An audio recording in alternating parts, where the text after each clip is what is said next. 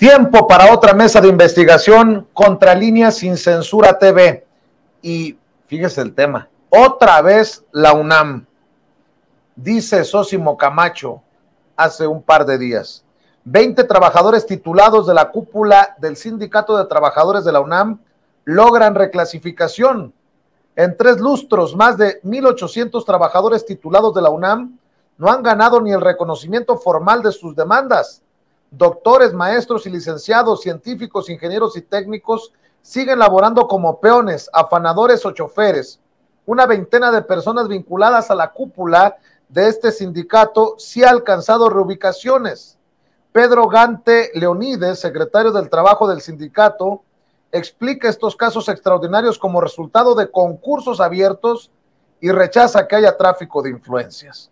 Asegura que la organización gremial defiende a todos sus integrantes, que la universidad está violando el contrato colectivo de trabajo y que la administración del rector Enrique Graue no ha mostrado voluntad para resolver la problemática y llama a la unión de todos los trabajadores para una movilización que recupere los espacios de trabajo.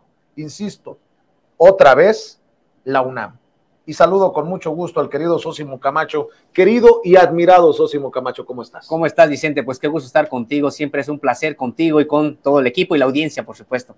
Ya habíamos hablado en algún momento en estas mesas de investigación contra líneas sin censura de temas laborales y de estos trabajadores que tienen títulos universitarios y que los traen trabajando, mm, con mucho respeto lo digo, en labores de conserjería, ¿no? ¿Qué está pasando, Sosimo, ahora?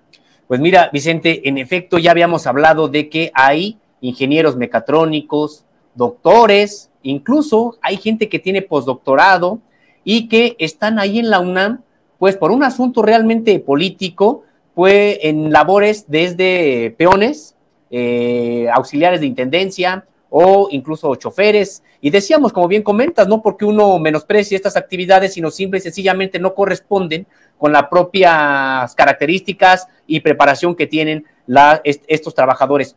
Decíamos que eran 1.300, pues resulta que son 1.800, un poco más de 1.800, de acuerdo con las investigaciones que hemos seguido haciendo sobre este respecto.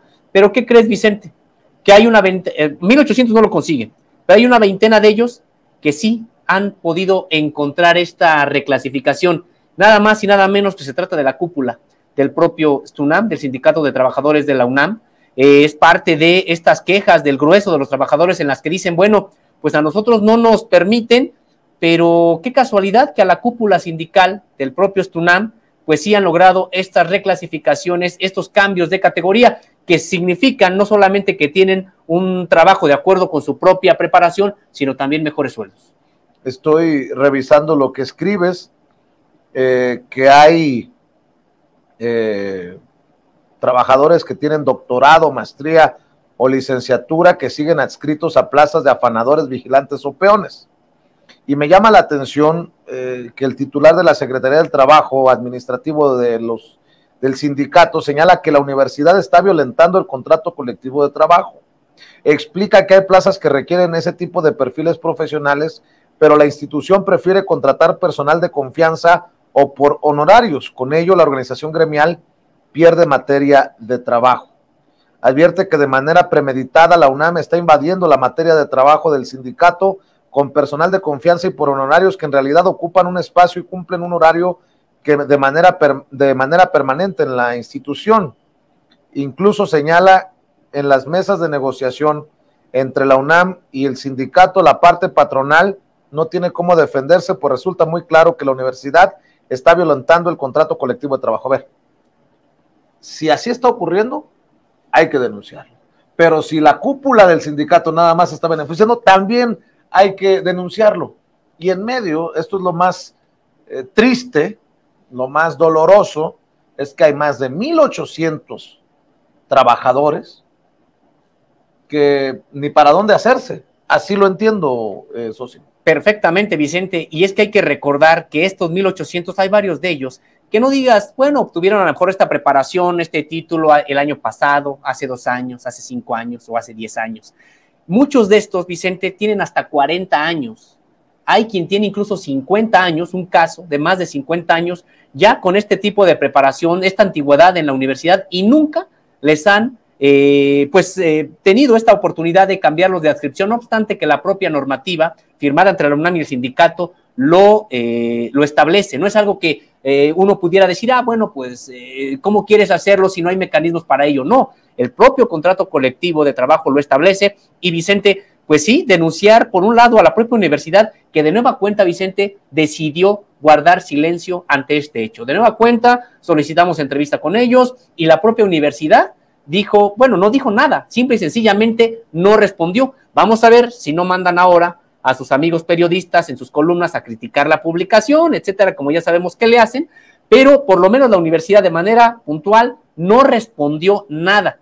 De reconocerse que el sindicato respondió, no obstante, que también el propio sindicato es cuestionado en este asunto, porque sí, 20, tenemos los documentos, 20 eh, personas vinculadas a esta cúpula pues ellos sí logran de manera discrecional una reubicación, algo que pues ha generado mucha indignación entre la propia base de trabajadores porque dicen, nosotros desde hace cuánto estamos solicitándolo y resulta que se hace solamente de manera discrecional, no es un programa para todos y solamente a estas personas vinculadas a la propia cúpula del Estuna. Dices que algunas personas ligadas a la cúpula sindical sí cuentan con readscripción y reconocimiento como profesionistas titulados el presidente del sindicato, Pedro Gante Leonides, y su hija, Carely Gante Araujo. Ya se me revolvió el estómago nada más de ver, con mucho respeto, pues. Pero si la hija del presidente del sindicato. Secretario del Trabajo.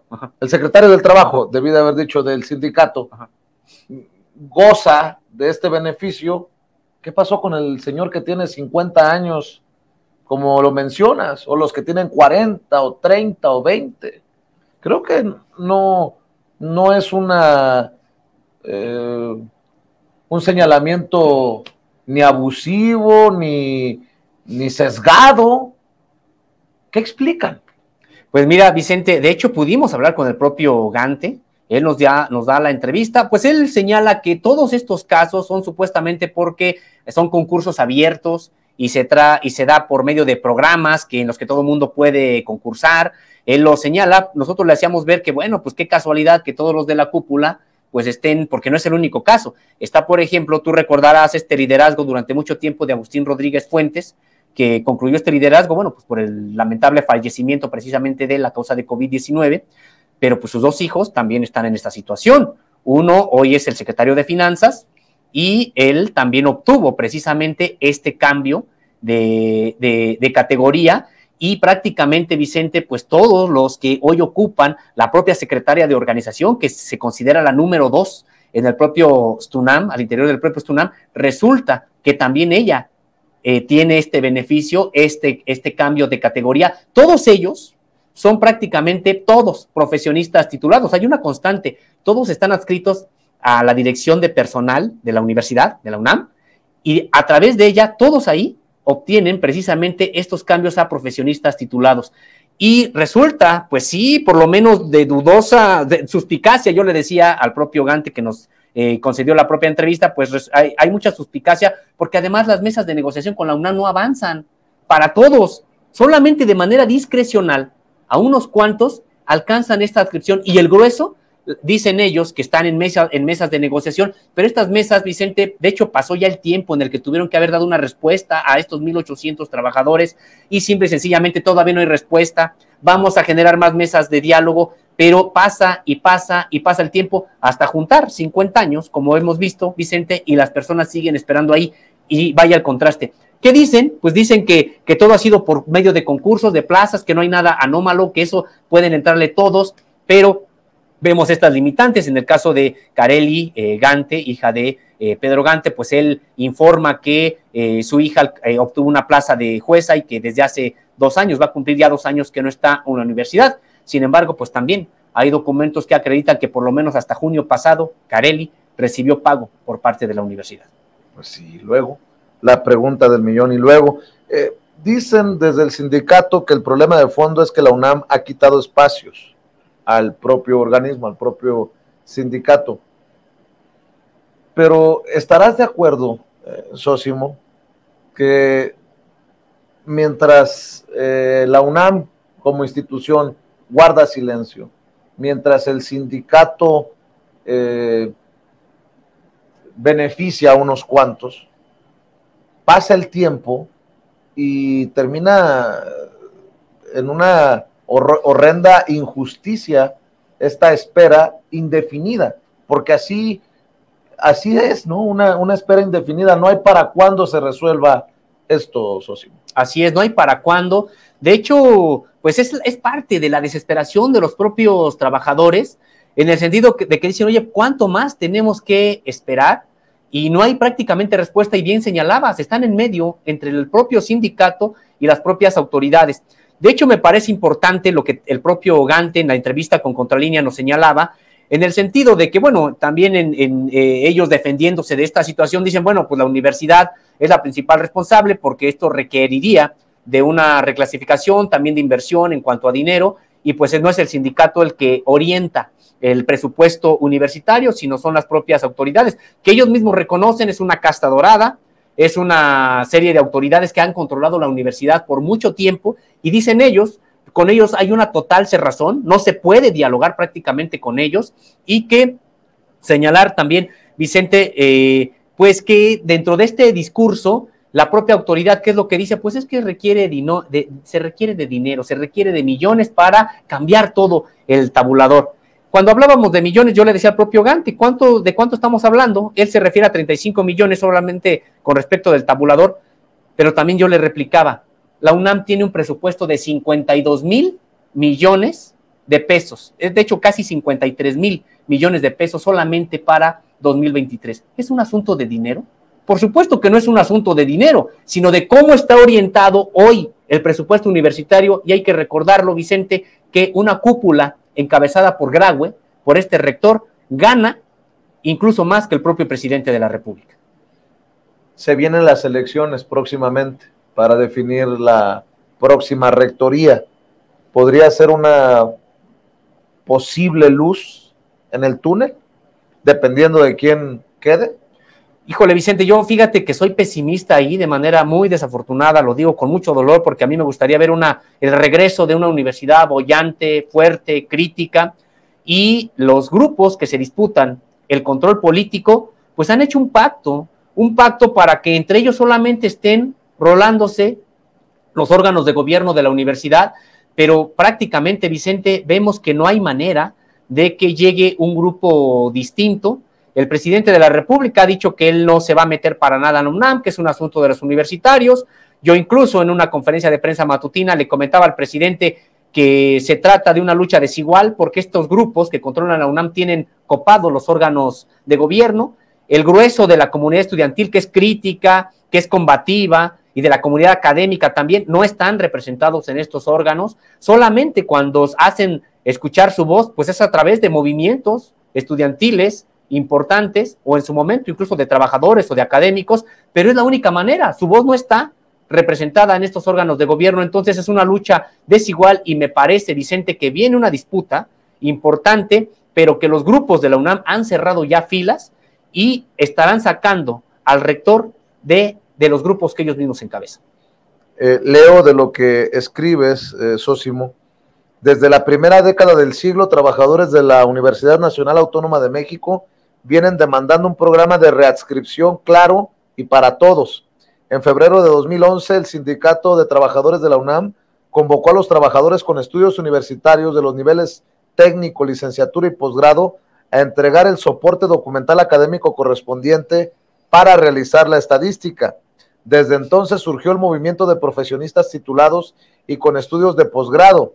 La organización cobró mayor fuerza a partir del 37 Congreso General Ordinario del Sindicato, que se celebró en el Auditorio Nacional el 26 de agosto de 2018.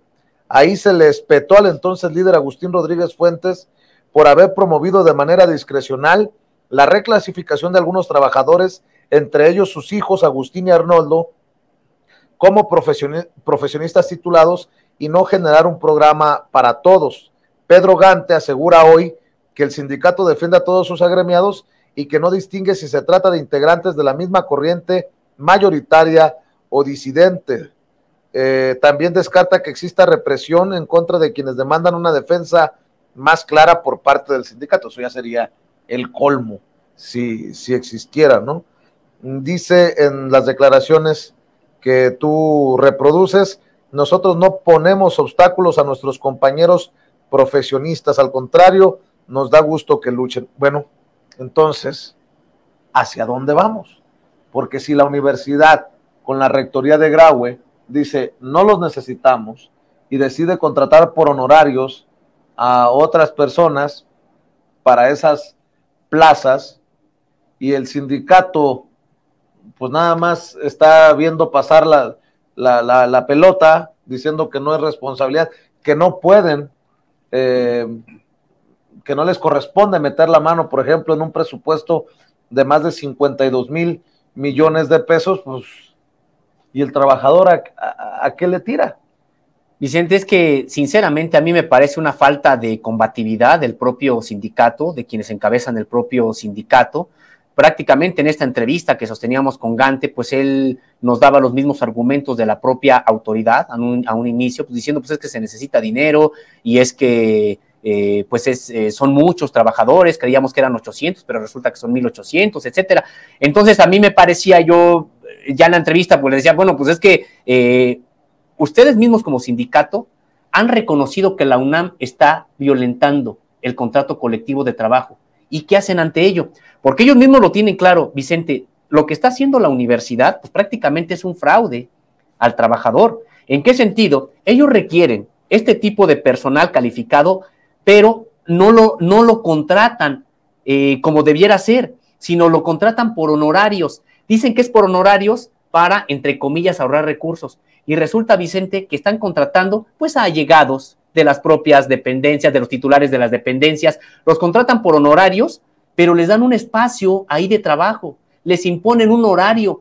¿Cómo es posible que eso se sostenga que es por honorarios? De manera muy clara, están violentando la ley del trabajo y la UNAM y está violentando el propio contrato colectivo de trabajo. Y entonces decíamos, bueno, ya que eso está claro, acreditado, reconocido por el propio Stunam, ¿qué hacen para frenarlo? ¿Qué están haciendo ustedes para demandar que esos, esas plazas por honorarios se regresen a los trabajadores. Hay trabajadores capacitados para ocupar esas plazas. ¿Por qué no los ocupan de ahí? Sí, mediante un programa que sea abierto para todos, sometido a concurso, etcétera, pero prácticamente pues no lo están haciendo. Y me parece, me parece, y solamente es una percepción, Vicente, es que están muy cómodos porque ellos sí, la cúpula ha alcanzado precisamente esas reclasificaciones, esas, esa nueva categoría, y me parece que es una suerte de pues de no llevar problemas con la propia autoridad y prácticamente estar controlando a los trabajadores. Y también las señales que veo de Enrique Graue son las equivocadas, ¿no? Hace unos días aquí exhibíamos fotografías de Enrique Graue muy cómodamente viajando a España en primera clase y hemos exhibido aquí con las investigaciones de tu autoría, de Nancy Flores, eh, los millones que maneja en sus fundaciones Enrique Graue. O sea, para lo que quieren sí hay dinero, pero para los trabajadores, para la gente de abajo, no. Eh, es, las, las señales, insisto, desde Rectoría, pues no, no son muy alentadoras, que digamos. Y las otras, Vicente, que tienen que ver con la corrupción, que también hemos estado documentando, que dan cuenta incluso de pues varias ya decenas de millones que hemos documentado, que documentamos aquí también contigo en este espacio, eh, en proyectos como el Museo de la Luz, por ejemplo, la Dirección General de Divulgación de la Ciencia, donde pues va, este, varios millones ahí se han ido sin que se castigue a los responsables de los desfalcos, sin que se desmonte esta red de corrupción que hizo posible estos asuntos. Es decir, tenemos a una universidad profundamente lesionada, agraviada por las propias, por los propios grupos que se disputan el control de la universidad. Y también habría que señalarlo, Vicente, estos grupos vivieron muy bien con estos, estos sexenios neoliberales, muchos de ellos participaron en los gobiernos eh, priistas y panistas y hoy siguen enquistados ahí en la universidad, han hecho posible el regreso de personajes como Lorenzo Córdoba, es decir, la universidad se convirtió en una banca de este tipo de funcionarios en el que, a ver, mientras no estás en el servicio público ganando eh, los cientos de miles de pesos, pues vente a la UNAM donde vas a seguir ganando también cientos de miles de pesos mientras ingresas o mientras obtienes otro hueso. Entonces tenemos el caso de él, de Luis Raúl González Pérez, del propio Ciro Murayama, cuántos y cuántos otros que incluso ya eh, se quedaron en la banca, me parece que para siempre, Diego Valadez, otros por ahí que están en la propia universidad, que son los que controlan. Guillermo Sheridan, que son los que controlan prácticamente la universidad de manera muy dolorosa, tendríamos que señalarlo, pero los órganos de gobierno están gobernados por este tipo de personajes y son también los que le abrieron eh, paso a los cambios en los planes de estudio allá en, ahora que están de, estamos hablando, hemos hablado también en estos días de los planes de estudio de educación básica, pues estos grupos son también los que cambiaron los planes de estudio en la propia universidad. Eh, y Vicente, pues vemos ahora eh, también al propio sindicato, pues metido como que muy a gusto, dice que los critica, dice que demanda, pero también en los hechos, en los hechos hemos visto un sindicato de la UNAM muy, muy, eh, digamos que fácilmente eh, se deja convencer por las propias autoridades en detrimento de quién, pues aquí de los trabajadores. Dices que no es combativo al nivel que se necesitaría el sindicato pues es contra natura. la UNAM nos ha llamado siempre a, la lucha social, a, alzar la voz, a la revolución de las conciencias. Eh, por, eso, por eso lo digo así, o sea, qué cosas que el sindicato de trabajadores de la UNAM esté con una actitud, no sé si hasta timorata, eh, pasiva, eh, permisiva con esto que huele a arbitrariedades desde la institución de la Universidad Nacional Autónoma de México, pero esa complacencia tenga que ver con no me meto contigo para que no me no te metas conmigo con lo que hoy nos estás diciendo, que esto ya cambia también el juego de no solamente el problema está hacia la rectoría, sino aquí a todas luces pues a uno le hace levantar la ceja eh, esto de 20 trabajadores que sí logran su reclasificación. A eso voy. Sí, que son parte de la cúpula y que ahí están los documentos, son documentos obtenidos incluso por transparencia, en los que se solicita cuál es la categoría de determinados personajes, de todos ellos, y todos van arrojando lo mismo, todos arrojan que ellos sí, toda la cúpula prácticamente tiene esta, estos cambios de categoría y vemos un asunto totalmente discrecional y entonces entra la suspicacia. Dices, pues al parecer, a ver, las mesas no avanzan, no les dan respuestas a los, a los trabajadores, a los 1.800 trabajadores que tienen este problema. Y cada que hay un emplazamiento a huelga por, eh, del sindicato, pues sí, hay varios temas que destacan, dentro de ellos el salario, etcétera, pero este tema nunca avanza. Es más, por el propio empuje de los trabajadores, se generan mesas de diálogo sobre este tema entre la UNAM y el sindicato. Ah, pero son las últimas, o no avanzan, o ya no se llevan a cabo, eh, hay otras cosas más urgentes. Entonces, pues lo que estamos viendo es que, pues parece ser que hay una tranquilidad entre el sector de los trabajadores en la universidad, pero también, pues gracias a una cúpula que me parece ha estado eh, dejando de, eh, pues de representar a todos. Eh, esto lo digo también con mucho respeto, sé que muchos en el Estunam no estarán de acuerdo conmigo, de la propia Corriente Roja que eh, encabeza desde hace mucho tiempo este sindicato, pero me parece que hay que apretar muchas tuercas en el propio Estunam, porque claro, claro que es una organización gremial que históricamente fue muy, muy importante, una organización gremial muy combativa, luchadora, y que generó contratos, defensa de los derechos ejemplares, que sirvieron incluso de ejemplo para muchos otros sindicatos, pero que me parece que ahora han encontrado la manera de domarlo, han encontrado la manera de que eh, no, eh, no, este, no, no pise callos entre las autoridades universitarias. Y preguntándole sobre este tema al propio secretario del Trabajo, bueno, él justificaba el asunto diciendo que es que, pues, finalmente solamente es un sindicato y si se van a huelga no saben si van a recibir el apoyo de los demás sindicatos, por ejemplo, de la UNT, eh, que hoy no hay una coyuntura como la hubo en otros, en otros momentos, eh, pero me parece, me parece que hay, que arrojar todavía mucha luz sobre el propio sindicato pues para no, que no nos dé lugar a lo mal pesado que somos, Vicente, como lo señalas, y decir que pues están muy tranquilos porque ellos sí han obtenido eh, privilegios que los demás no tienen. ¿Para cuándo se viene el proceso de elección? Eh, octubre, noviembre, octubre, noviembre de este año. Eh, ya en, a final de este, me parece que de noviembre se tiene que saber quién es el rector de esta universidad, quién queda, y pues está de miedo, Vicente, tan solo por conocer los nombres que se están que se están señalando. Eh, quién sabe si después de lo que hemos publicado pueda tener todavía oportunidad el director de divulgación de la ciencia, que pues digo, ahí salió él eh, en esta, eh, como responsable de una serie de irregularidades muy claras que, que auditorías internas de la UNAM demostró por cheques, 50 cheques firmados, 50 cheques por 27 millones de pesos que él no tenía la facultad de haber firmado y lo hizo.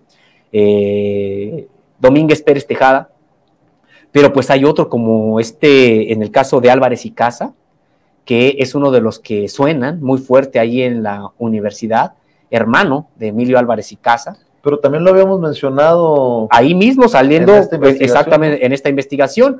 Eh, ahí eh, las irregularidades que, que, se, que, se, le señalan por la propia auditoría solamente son por omisión.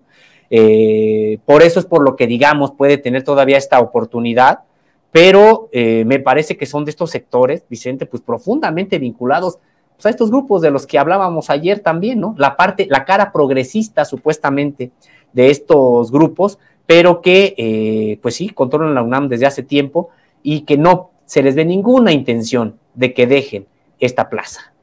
Y son estos personajes los que pueden confirmarnos, eh, ya tú me dirás, los conoces mejor que yo, eh, aquello de que se había derechizado la, UNAM, se había vuelto muy conservadora. Eh, ¿Son esos personajes también de ese, claro. de ese corte? Sí, totalmente, Vicente. O sea, de hecho, ahora que hablábamos eh, en otra ocasión sobre este, este proyecto de nación, entre comillas, que puede, que, puede, que puede articular la alianza Va por México, estos grupos de la derecha electoral en México, y que para eso habían llamado a alguien como eh, el propio José Ángel Gurría, pues decíamos, vaya, despropósito de hacerlo cuando tienen tantos que no están tan quemados como él, pero que piensan igual y que los podemos sacar no solamente de las universidades privadas, sino también de las públicas, porque esto que estamos eh, viendo, pues ya son resultados de las décadas del neoliberalismo que también, también calaron en la propia universidad. Después de mucho tiempo, sí, lograron penetrar estos grupos, de controlar la propia universidad, me refiero a los órganos de gobierno, y también de imponer los planes de estudio. Planes de estudio que eso da para una investigación aparte sobre cómo los planes de estudio de la, de la universidad, de la UNAM y de las demás universidades públicas también se fueron derechizando porque como estos grupos ocuparon los órganos de gobierno de la UNAM, de las facultades, de los institutos, pues también empezaron a imponer su visión de país, su visión del mundo, etcétera. Y a pesar de una gran resistencia que a la fecha sigue, de los estudiantes y de los académicos, decíamos Vicente, ellos no tienen los órganos de gobierno. Entonces, sí es verdad, sí es cierto, la universidad se derechizó, sobre todo en sus órganos de gobierno, y aunque hay una gran resistencia todavía de estudiantes, es más del grueso de estudiantes, pues ellos no elaboran los planes de estudio. Solo porque tú lo mencionaste, si me permites sacar el caso de José Ángel Gurría por este, esta visión conservadora, le han encargado a este que hemos exhibido tanto en la revista Contralínea como en estas mesas de investigación como un vividor del erario, este que fuera padre del Fobaproa o uno de los padres del Fobaproa, pues va eh, dejando por el camino eh, claridad de qué tan conservadora o qué tan peligrosa podría ser eh, la redacción de este proyecto de país para la oposición 2024-2030 que le han encargado a él los presidentes de los partidos involucrados en este frente amplio opositor. José Ángel Gurría habla de eh, eliminar la universalidad de los programas sociales, que se mantengan los programas sociales, pero definir quién los merece por los ingresos. Y es eh, ya de entrada con estas declaraciones, creo que se las da a el Sol de México eh, una posibilidad de retroceder lo que hemos avanzado en, este gobierno de la cuarta transformación. ¿Cómo, cómo ves a estos de la oposición que andan todavía peleándose porque no consiguen hacer funcionar como debería este sistema para recabar las firmas, mientras su gurú, eh, su guía política para la redacción del proyecto de país, pues eh, nos va mostrando los verdaderos colores de esta oposición. Eh, y ya te iré dando otras cositas para conversarlas en esta mesa. Vicente, tan solo con que sea José Ángel Gurría, la persona que hayan designado para la elaboración de este, entre comillas, proyecto de país, lo único que nos pueden decir es de que no tienen nada, no tienen nada que ofrecer a la sociedad mexicana, lo que ya se vio, lo que ya vivimos. ¿Qué puede redactar alguien como José Ángel Gurría si no es lo que ya aplicaron en todos estos exenios que empobrecieron al grueso de la población mexicana, que generaron unos grandes super ricos y grandes masas de desposeídos? Es decir, quiere decir que no tienen absolutamente nada que ofrecer, Vicente, y señalar que cuando hablas de esto, de los, de los programas sociales, de entrada, ellos tienen que aceptar que existan un poco a regañadientes ante pues la gran aceptación que tienen entre la propia sociedad mexicana. No pueden decir que ya no va a haber. Ahora entonces matizan, sí que haya, pero para algunos, ¿qué están reproduciendo? La cultura del privilegio, y además otra cosa, Vicente, si los, si los programas empiezan a ser para determinados sectores, empezarás a crear clientelas políticas. Precisamente lo que se quiere ahora es que nadie pueda, tenga que ir a, marchar con un frux y una torta, o que nadie tenga que ir a firmar o dar su credencial de elector para que sea, pues, beneficiario de un programa social. No, hay precisamente por lo que hay que luchar es por la universalidad, independientemente de tu origen social, de tu origen étnico, independientemente de tu ideología, de si estás de acuerdo o no con determinado proyecto de país, que todos tengan el mismo derecho. Esa es la universalidad de los derechos. Entonces, pero fíjate que con estas declaraciones, tú que has caminado los caminos, si me permites la expresión, tú que has andado en la montaña, en las zonas vulnerables de nuestro país, en la Mixteca, así como yo, te das cuenta que estos personajes juegan el dedo en la boca diciendo que van a ser muy plurales, muy amplios, pero la visión desde las grandes urbes es lo que los mueve. No conocen el México profundo, no conocen a la gran, eh, al gran sector que se beneficia de estos programas sociales. Solamente así, así lo entiendo, con una declaración como la que vemos en pantalla, que los programas sociales no deben ser una política universal. Si es lo que yo, yo he venido insistiendo, Sosimo, no sé si estás de acuerdo, es lo que le da por primera vez, tal vez en la historia, no sé si en, en muchos años, la posibilidad de decirle, de sentirse incluso, de ser, al, estar al mismo nivel entre el indígena zapoteco, la gente en la montaña, en Guerrero, la gente de Tamazulapam en Oaxaca y en la Mixteca al mismo nivel que cualquier eh, exfuncionario de gobierno, exdirector de empresa, que por la edad puedan, por derecho constitucional, si quisieran, acceder a estos beneficios para mí lleva una gran trascendencia poner a todos a ese mismo nivel, como no estaban o no se reconocía desde, pues a lo mejor como nunca antes, eh. Totalmente de acuerdo. Es que ellos, en, primer lugar, imaginemos cómo les caerá esta noticia, esta propuesta a las poblaciones que son beneficiarias de este derecho que es universal en México. Entonces, imaginemos, Vicente, si van a tener algún tipo de adhesión. Por eso bien comentas, no conocen el país, Vicente, y no lo conocen no solamente porque no lo han caminado, sino porque vemos que no lo han leído, que no lo han analizado, todo lo ven desde sus prejuicios y creen que son los grandes eh, ideólogos, creen que están súper preparados. Y cuando vemos esto, dices, realmente estudiaste en el extranjero, dices que tienes tales calificaciones, tales posgrados, y me vienes con este tipo de propuestas, también vemos la, incapacidad que tienen, ya no digamos de caminar estos caminos, porque claro que el país se conoce mejor andándolo, caminándolo, pero vemos, Vicente, que ni siquiera lo han leído, ni siquiera han abierto un libro para saber cómo se encuentra el, el país.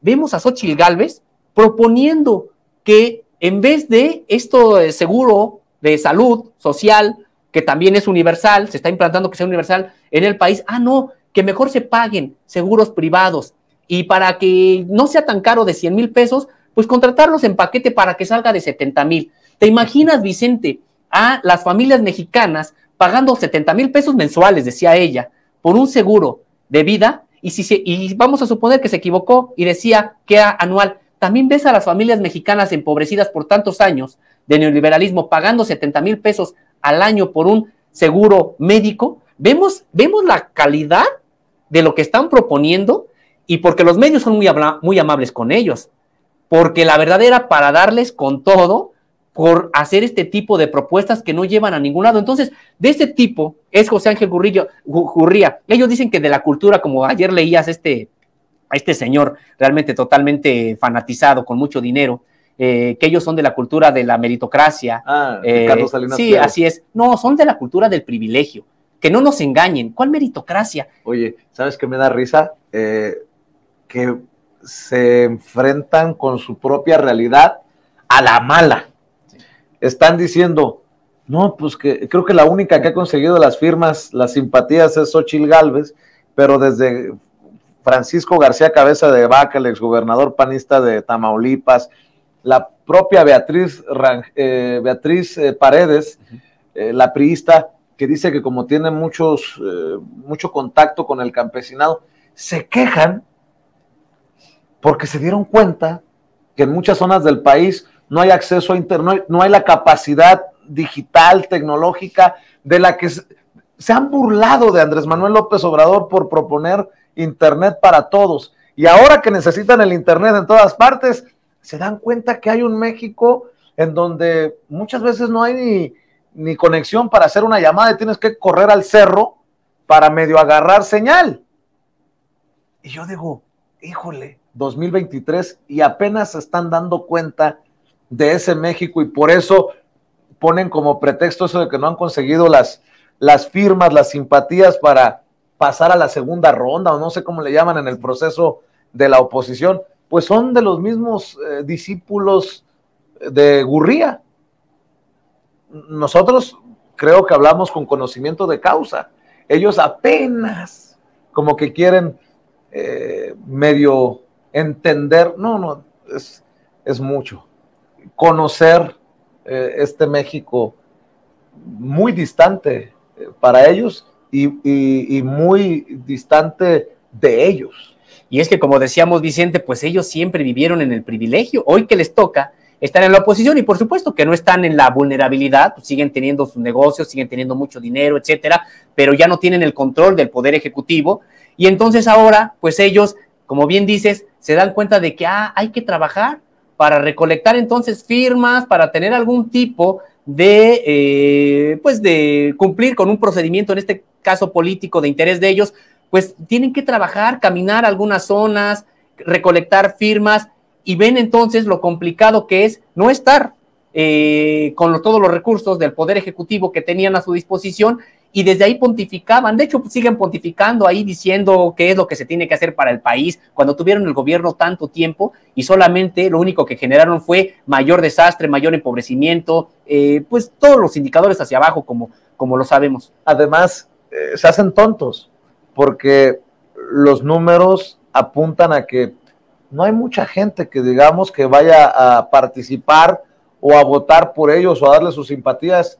Solo como ejemplo, Hidalgo, eh, Oaxaca, que son los estados en donde Morena PT Verde arrasó en los pasados procesos electorales. Así que creo que andan buscando, bueno, lo voy a decir así como dice un amigo allá en Sonora, andan orinando fuera de la basinica. Pero fíjate que ya que estamos hablando de estos temas, y te agradezco mucho, que pues en viernes también se vale. Eh, el tema de los libros, los libros de texto gratuito, eh, han exhibido también la hipocresía de Xochitl. Si los libros de texto, eh, estos que llaman comunistas, tienen una visión más, más nuestra, más de nuestros pueblos originarios, más, es que no encuentro otra forma de expresarlo, más nuestra, más comunitaria, aunque les duela esa palabra. Xochitl Galvez también ha arremetido contra estos libros de texto. A mí me pintaron a una Xochitl Galvez que viene de abajo, una Xochitl Galvez incluso indígena. Me imagino que no le ha de haber gustado tampoco a ella como a esta comunicadora Mónica Garza de TV Azteca, una de las peones de, Ricardo Salinas Pliego, esto de llamar Noche de la Victoria a la noche que se conocía como triste cuando, cuando lloró Hernán Cortés. Pero estoy buscando algunas de las declaraciones precisamente de Xochitl Galvez, porque pues queda exhibida con estos, estas críticas y no, uno se imaginaría de izquierda, que conoce Marx, que conoce a Lenin, que podría estar más cerca del comunismo, eh, pues Xochitl Galvez, eh, como cualquier otra conservadora, ¿no? ella misma se desmorona en su falsa izquierda. Dice, en lugar de dar herramientas a los jóvenes para que tengan un buen futuro, los nuevos libros de texto de la SEP serán una herramienta más de politiquería. Basta de condenar a México a la ignorancia. Debemos apostarle a que las próximas generaciones puedan trabajar en robótica, ciencia, ingeniería e inteligencia artificial. Sí al aspiracionismo con educación de calidad. México merece más. Y, mira, no se dio cuenta que en la nueva escuela mexicana, creo que le llaman la nueva visión, pues ya no hay matemáticas, historia, lengua por separado, aunque lo haga para burlarse del presidente Andrés Manuel López Obrador, sino que ahora son, son planes académicos más comprensivos, hasta integrales. No sé si integrados es la palabra, pero ahí se quedan ellos mismos exhibiéndose, patinando en, el pantano, eh, Pues eh, mira, en efecto, ya lo decíamos incluso ayer, cómo este tema de los libros de texto ha servido para que queden desnudos, ha servido para quitarles la propia careta. Xochil Galvez, supuestamente que viene de una comunidad indígena, que fue trotskista, dice ella, eh, pues solamente como una manera de ver a quién sorprende y obtener, a ver si logra obtener votos del sector popular. Eh, por eso es por lo que ella es la candidata de esta, de esta alianza de la derecha en México. Pero, Vicente, si hay algo que está promoviendo esta, estos libros de texto eh, y muy lejos de lo que están diciendo eh, personajes como el propio Salinas Pliego que decía que promueven el odio, no es cierto. Lo que están promoviendo es el reconocimiento entre mexicanos y mexicanas, el reconocimiento y el respeto entre todos, independientemente de la propia cultura indígena o no a la que pertenezcas, porque ojo, lo que está todavía en los actuales vigentes planes de estudio que provienen del neoliberalismo es un México en el que los indígenas no existen. Es un México en el que hay una cultura dominante y todos tienen que someterse a esa cultura dominante.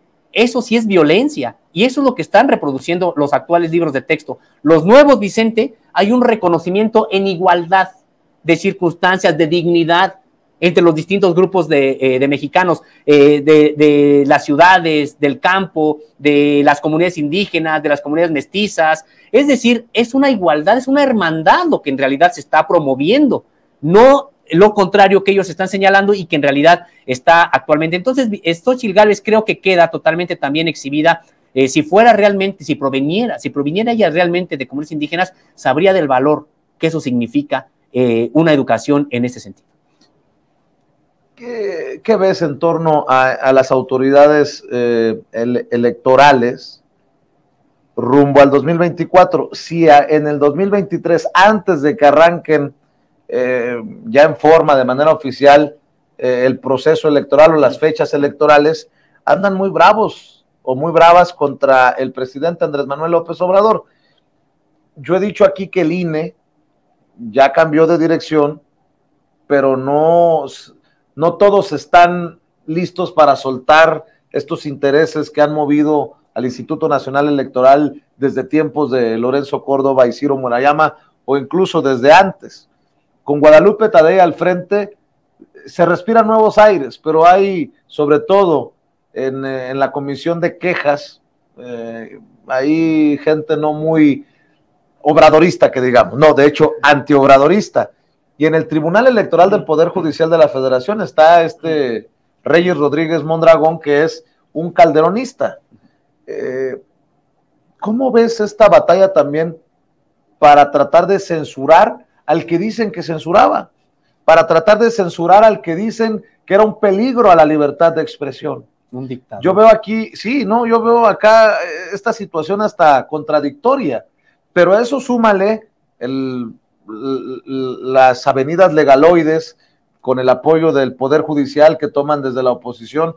A esto súmale todo lo que hemos venido hablando en estos días, Sósimo. ¿Cómo ves eh, para Andrés Manuel López Obrador este último año, tres meses, si recuerdo bien, de gobierno? Y te lo digo porque se viene, por ejemplo, la inauguración del Tren Maya, del tren Maya el funcionamiento ya en, forma de la refinería Dos Bocas y parecería que lo quieren atar de manos, ponerle una cinta en la boca. ¿Cómo ves tú? Pues Vicente, pues me parece que están tratando de llevar al extremo lo que tampoco nunca lograron, pero hoy van a tratar de hacerlo con todo, con toda su eh, la fuerza que pudieran tener, que es judicializar el, la, la actividad política en México, porque judicializando el asunto, ellos ahí ganan. ¿En qué sentido? En que tienen el control del poder judicial de este país. Desde hace tiempo hay que recordar, bueno, de hecho el presidente de la República ha señalado cómo el poder judicial prácticamente se le entregó al panismo en tiempos de Ernesto Cedillo, como una manera precisamente de afianzar esta, desde Salinas y con Cedillo, de afianzar esta alianza que ya no se distinguía un partido de otro. Entonces prácticamente el Poder Judicial se lo entregaron. Y este tribunal electoral, pues eh, lo vemos ahora impresionante. Este es, es, que se trata de un despropósito, Vicente. Prohibirle al presidente que se refiera a Xochitl Gálvez y con ello defenderse de lo que Xochitl Gálvez anda diciendo por todos lados. Es decir, Xochitl Gálvez puede, tiene la libertad de mentir, tiene la libertad de manipular, tiene la libertad de insultar al presidente de la República, porque le dan la palestra a todos los grandes medios de comunicación en entrevistas a modo y Xochitl ven y aquí di lo que quieras prácticamente. Y resulta que la manera en que el presidente puede defenderse o contrarrestar esa información, que su conferencia, su conferencia de prensa, es una conferencia de prensa, resulta que le dicen que no puede referirse a ella y Vicente ni siquiera está el proceso electoral abierto. Es impresionante este nivel, este despropósito. Es, un, es una protección, entre comillas, a Xochitl Galvez, porque eh, me parece, Vicente, que no, no, eh, eh, no se sostiene. Peor aún, en el INE deciden que no hay indicios de violencia política en razón de género contra Xochitl Galvez. El tribunal dice, no, ni madres, si hay violencia política, revisen otra vez el caso. O sea, o, uno u otro, o los dos, pero hay que darle. Es, es que es impresionante, Vicente. O sea, el, el tribunal ya mandó que lo, lo, analice el INE. El INE le dijo, no, no hay violencia política de género. Y él, como no queda conforme el tribunal, dice, no, vuélvanlo a analizar. Y hasta dicen, y con esta perspectiva, prácticamente les están ordenando que tienen que emitir una resolución en la que digan, sí, hay, sí hubo violencia de género en contra de Xochitl Galvez. Pues es impresionante este tribunal, Vicente, porque me parece que eh, están en esta situación de que, y si, y si de nueva cuenta dice el INE que no, van a volver a insistirle en que lo hagan. Pero fíjate, ahora entiendo al presidente que pareciera en ocasiones pitorrearse, burlarse de sus adversarios, como el gran provocador que es, provocador profesional, ajedrecista político. Ayer en la mañanera dijo, Oigan, pero si han llegado a decir que Xochitl Galvez es algo así como mi ficha, que yo la estoy controlando, que yo soy el promotor, que yo soy el cerebro detrás de Xochitl Galvez. Pues déjenme hablar de ella para promover. Es que es una locura, ¿no? Cuando no es el presidente, la está soltando para sus propósitos, para sus intereses. Ah, es violencia política de género. O sea, o es ficha del presidente o es víctima del presidente, ya, ya, ya no entendí nada. Pues es parte de, esta, de estas maneras en que a veces tienen que hacer discursos ahí totalmente contradictorios para justificar lo que han venido diciendo, y es que el presidente no se amolda, eh, no cabe en el molde que ellos han buscado ponerle de dictador, de, eh, de alguien que iba a llevar al país supuestamente a una dictadura, etcétera. Y en este sentido, Vicente, señalar también el papel del propio INE, porque tienes razón cuando señalas que pues, el asunto de Guadalupe Tadei ha venido a generar pues unos vientos de que refrescan al propio INE, pero pues ella no controla todo lo que ocurre en el propio INE. Y esta comisión de quejas, porque además es lo, lo sorprendente, Vicente, quien manda a callar al presidente ni siquiera es el pleno del INE, sino es una comisión, la comisión de quejas del propio instituto, que pues tiene esa facultad, así está el asunto de, eh, en este eh, sistema político mexicano de las cosas que se tendrían que cambiar, manda a callar prácticamente al presidente y cuando no es la comisión de quejas del INE, es entonces el propio tribunal electoral donde cierran la pinza y la cierran la pinza con los medios de comunicación. Entonces, eh, me parece, Vicente, que viene, volviendo a, tu pregunta de hace, de hace un momento, viene un proceso muy, muy complicado, muy intenso, donde incluso con las propias ligas hacia la violencia que tienen estos grupos, también buscarían generar algún tipo de violencia para tratar de descarrilar el propio proceso electoral y entonces decir que siempre tuvieron razón, que, que, el asunto iba para mal y que no podía terminar de otra de otra manera, más que como ellos lo vislumbraron desde antes. Entonces, eh, claro que enfrente tienen a un pueblo eh, que mayoritariamente sigue respaldando al actual presidente de la República, y me parece que por eso ellos tampoco la tienen fácil, pero vienen asuntos, me parece, complicados. Así es. ¿Nos puedes adelantar algo de lo que estás trabajando o de lo que están trabajando en la revista Contralínea para esta edición que se viene el fin de semana? Eh, yo te puedo adelantar algo de lo que estoy haciendo y que tiene que ver sobre un asunto del propio Germán Larrea en la Universidad Nacional Autónoma de México. Ah, Así es, viene a un asunto que nos parece también importante y a propósito del derrame en el río Sonora. Hasta ahí lo comento porque todavía están, en, estoy obteniendo todavía más información, Eso. pero viene, viene interesante también este asunto y tampoco hemos decidido todavía este, la, la, portada. la portada, de este, de este número, pero estamos, estamos en, en, en proceso todavía. Tú sabes que admiro mucho tu trabajo, que admiro mucho uh, el trabajo que hacen los compañeros Nancy, Miguel como director, a todos en la, en la redacción, un saludo que están trabajando contra el reloj, como siempre, como siempre ocurre en las salas de redacción honestas en donde sí se, está chambeando. Mi querido eh, ¿por qué no cerramos? Precisamente invitando a esta audiencia diferente e inteligente a que los vean, a que los escuchen, a que los lean y sobre todo a que los apoyen. Gracias, muchas gracias Vicente, pues y gracias por este espacio como siempre. Y sí, estamos en www.contralinea.com.mx en donde van a encontrar los detalles de las investigaciones que aquí también presentamos. Ahí podrán eh, navegar en los propios documentos, en los esquemas, en las infografías. Y les estamos también, les invitamos a que nos sigan en redes sociales. Estamos como Contralínea en YouTube, Facebook, Twitter, Instagram y TikTok. Y como Contralínea Audio en Apple Podcast, Spotify y iBox. Y también, pues les invitamos a que nos escuchen y nos vean todos los días en el noticiero Contralínea, periodismo de investigación que se transmite por YouTube y Facebook eh, de lunes a viernes en punto de las 10 de la mañana y hasta el mediodía. También estamos en una mesa de análisis contra debate los lunes, miércoles y viernes en punto de la una de la tarde y hasta las 2. Y por supuesto que estén con nosotros en este espacio que pues nos han generado nuestros compañeros, nuestros colegas de Sin Censura, Contralínea Sin Censura, por los canales de Sin Censura de lunes a viernes en punto de las 8 de la noche.